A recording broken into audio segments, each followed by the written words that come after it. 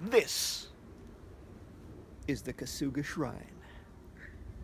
It's been here for hundreds of years. Today, we're going to look at things that have been removed. So, let's go. Today, we're going to play a little game of observation and perception within our local school neighborhood called Stuff That's Not There Anymore, but has been replaced with something else.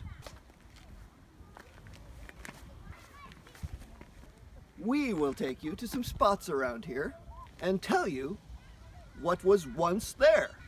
Then, show you what is there now. Your job, your job will be to take note of what you see, what is here. We'll also ask you to challenge yourself further to see if you can explain why these things are now here. Why did they take away what was here? Was that a good thing or a bad thing? What do you think? Ready? Let's go.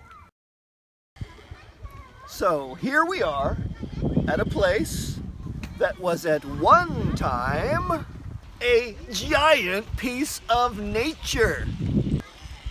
And animals, birds, things, stuff and such. Definitely not this. Why? Why did they change that to this? Can you describe what you see? What is this?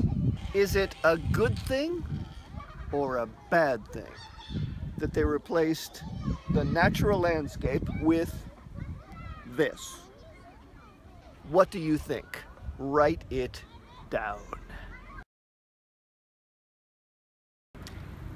So now here we are at another spot that was once a natural bamboo forest and wetland as far as the eye could see from this vantage point.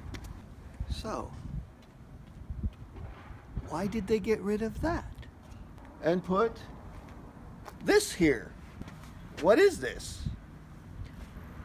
Is this more useful than that was? What do you think?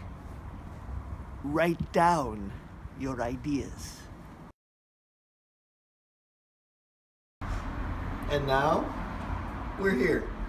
You know where this is, uh, we hope.